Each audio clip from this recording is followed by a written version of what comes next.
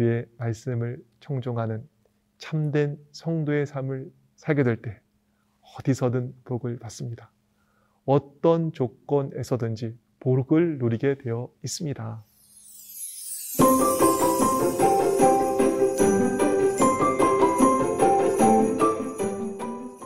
많은 분들이 집 때문에 걱정이 많으십니다. 집값이 올라도 걱정, 집값이 떨어져도 걱정입니다. 호프 채널에서 전하는 희망의 이야기 시간, 오늘은 집 이야기를 해볼까 합니다. 저희 교회에 미국에서 사시면서 평생 디자인을 하시던 분이 오셨습니다. 그분과 함께 전국의 교회를 무료로 디자인해 드렸습니다. 몇 개만 소개해 드리면 맨 처음 도와드린 광예원 교회입니다. 공사가 끝나고 처음 식사를 하시는데 도움을 드린 저희 생각이 나셨나 봅니다. 이렇게 식사하고 있어요. 라며 사진을 보내주셨습니다. 대천중앙교회 도면을 그려드릴 때 한국 전통 한옥을 모티브로 해서 식당 겸 다용도 공간을 디자인해 드렸습니다. 대천 시내가 내려다 보이는데 아름답습니다. 이건 고성 본향교회인데요. 십자가 모양으로 교회가 지어졌습니다. 그리고 십자가 아래 십자가 그늘 테이블을 만들어서 성도들이 편안하게 쉬실 수 있게 했습니다. 이곳은 삼육대학교 어린이관입니다. 어린이들뿐 아니라 기숙사에 사는 청년들이 언제든 찾아올 수 있도록 편안한 카페와 어린이관이 합쳐진 복합 공간으로 디자인해 드렸습니다. 그런데 많은 교회 건축을 컨설팅 하다 보니까 건축비가 오르는 것도 보이고 본의 아니게 부동산에 감이 생기게 되었습니다.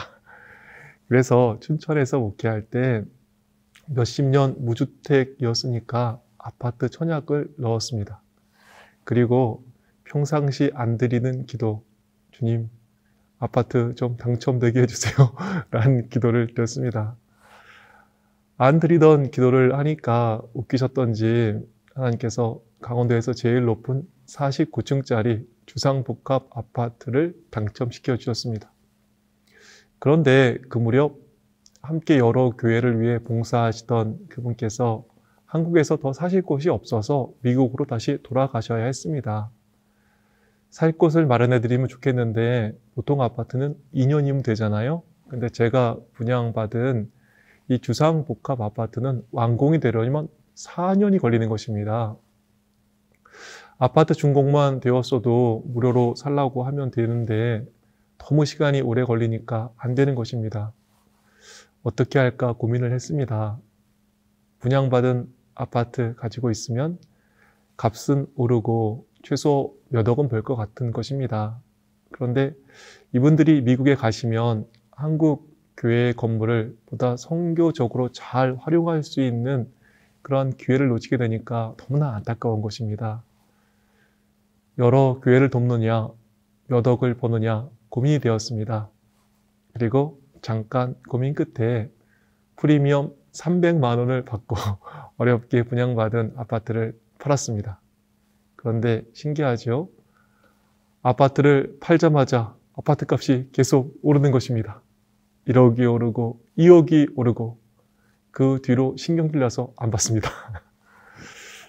그리고 아파트 판돈을 기초로 춘천에서 가장 싼 땅에 골조를 세웠습니다.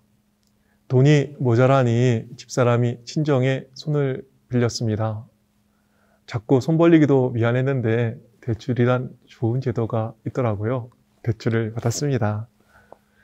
어떻게 어떻게 집이 완공이 되어서 여러 교회 건축을 무료로 도와주시는 분께서 집세 걱정 없이 사시면서 교회들을 도울 수 있게 되었습니다. 그 집이 이렇게 생겼습니다. 자그마한 소재 하나에 침실 하나가 있는 방 두 칸짜리 작은 집입니다. 작아도 천장 고가 높습니다. 천장이 높아서 햇볕도 잘 들고 답답하지 않아 좋았습니다. 어, 추울 거 걱정하시는데 실링팬을 달아 아래 위 온도가 비슷합니다. 또 단열이 잘 돼서 지내는 분들이 따뜻하다 말씀하셨습니다. 정원의 파이어핏에서 모닥불을 피우고 감자와 고구마를 구워 먹으면 참 맛있습니다. 춘천에서 가장 싼 땅, 30만 6천 원짜리 땅에 지은 방 두 칸짜리 작은 집. 아, 비싼 집이 많은 요즘에 정말 내놓기도 부끄러운 집입니다. 그런데 뉴스를 봤는데 어떤 스님에 관한 뉴스였습니다. 남산이 보이는 좋은 집에 사신다고 해서 무소유가 아니라 풀소유라는 논란이 되었습니다. 그 스님께서 내려놓으신 것은 머리카락밖에 없다는 이야기도 나왔습니다. 그런데 저희 집에서도 산이 보입니다. 단 보이는 산이 서울의 남산이 아니라 사막산입니다. 사막산이 보이는 시골의 작은 집을 보고 뭐라 그러는 사람이 없습니다. 그리고 지금도 대출금을 갖고 있는 저에게 사정을 하시는 목사님들께서는 하나님께서 축복하실 거라고 항상 용기를 주십니다. 그런데 몇 달 전에 들으니까 거기 사시는 분께서 목사님, 여기도 땅값이 좀 올랐습니다. 그러는 거예요. 부동산 전문가가 오셔서 목사님, 이 빈 땅을 보시라고 이렇게 많은 빈 땅이 있는데 여기는 안 오릅니다. 빨리 파세요. 라고 했던 땅입니다. 그런데 손해보는 마음으로 집을 지으니까 그 시골 땅도 오르는 것입니다. 뒤에 사업한다고 빚내서 일을 하는 게 안타까웠나 봅니다. 어, 저희 교회 집사님께서 목사님 박봉이 어떻게 빚을 해결하시겠냐고 요돈 얼마 안 되는데 하면서 도움을 주었습니다. 근데 제가 도움 부담돼서 그런 거 잘 안 받거든요. 그런데 그 도움이 이상도 하지. 그 집사님께서 이 돈을 가지고 어떤 비상장 주식을 좀 사시라고 이렇게 말씀하시는 것입니다. 교회는 참 특이한 분들이 많습니다. 그 특이함을 우리는 특별함이라고 부르죠. 그런데 이게 어떻게 될지 너무 궁금한 것입니다. 제가 호기심이 많은 거 그 집사님께서 아시는 거죠. 어, 도움받는 것이 부담이 되었지만 너무 궁금해서 그분 말씀대로 계좌 개설을 해서 비상장 주식을 좀 샀습니다. 그리고 그리 큰 금액이 아니고 해서 몇년 잊고 지냈는데 그 회사가 상장이 되었습니다. 상장의 의미를 잘 모르시는군요. 산 주식이 많이 오르게 되었습니다. 아, 좀 많이 사놨어야 되는데. 이 집이 코로나 시작할 때쯤 준공이 되었습니다. 그런데 요즘은 자재비가 올라서 제가 지은 가격으로는 그 집을 지을 수 없다고 합니다. 하나님 사업한다고 여덕 손해보는 마음으로 프리비엄 300만 원 주고 아파트를 팔았습니다.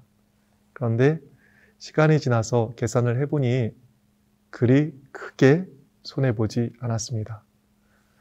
부동산 전문가가 빨리 파시라고 했던 그 시골 땅도 오르는 것입니다. 집을 짓고 나니 자재값이 오르는 것입니다. 시골에 집을 짓고 깨닫게 된 것이 있습니다. 좋은 곳을 선택해야 되는지 아는데 신앙 안에는 어디로가 없는 것입니다. 어디 가야 복이 있지 않고 그리스도인이 가면 그것이 복된 곳 되는 것입니다. 성경의 요셉은 종으로 팔려갔지만 애굽의 총리가 되었습니다.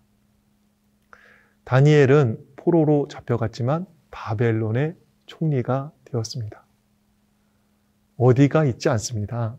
그리스도인이 가면 그것이 복된 곳 되는 것입니다. 그래서 신명기 28장에는 이런 말씀이 있습니다.